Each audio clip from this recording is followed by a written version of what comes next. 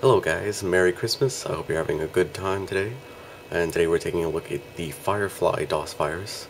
Now this virus is a retrovirus, meaning that when it activates, it attacks several known antivirus software for DOS.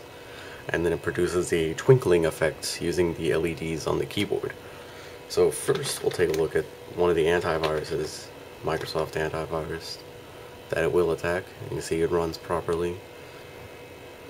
It loads up so you got all this stuff to choose from detect. We'll go ahead and cancel if we can. Maybe not. Maybe we'll have to let that finish. Come on, I don't want to do this. F3 exit. No, why aren't you letting me exit? We'll see if it finds anything.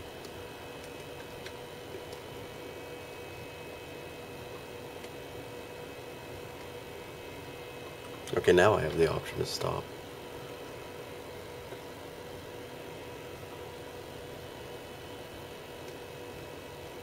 I wonder if it'll detect any of the viruses I have on here. That'd be interesting to see.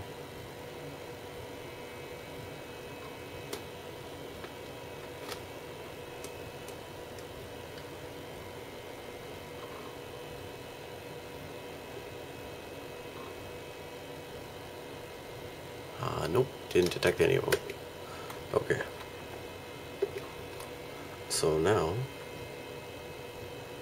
is it restart? Oh, okay, there we go. Now we will compile the virus from the source code. So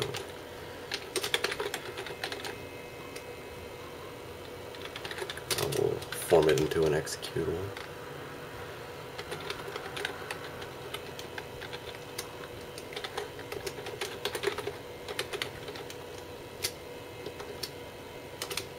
Oops. Gotta specify the directory first.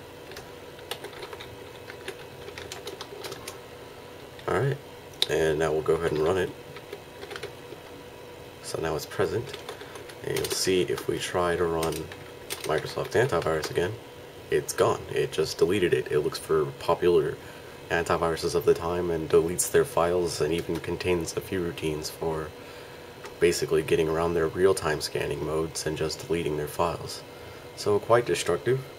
But now, if we look on the keyboard, here I'll see if I can get this visible for you. If you look on the LEDs, it'll constantly scroll through them.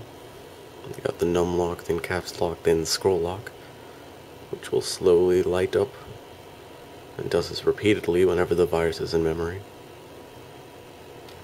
And this does cause the keys. It does work. See, caps lock is on now, so it's typing in caps, then it's off. So that's about it for the Firefly DOS virus, and hope you all have a Merry Christmas.